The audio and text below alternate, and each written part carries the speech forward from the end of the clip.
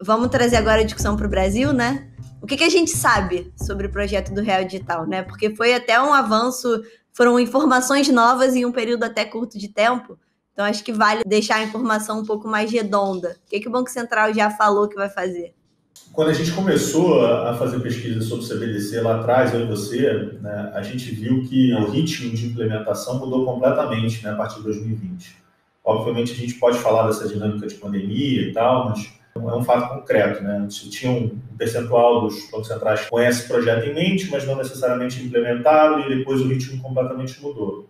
Então, ele mudou, já tem algumas informações, mas não está totalmente completo. O que a gente já sabe um pouco é o foco do Real Digital, uma ideia de você tentar é, facilitar pagamentos no varejo e para o exterior. E, óbvio, tem uma dinâmica mais macro, né, de você apoiar essa transição para uma sociedade cashless, né, para uma sociedade sem dinheiro físico.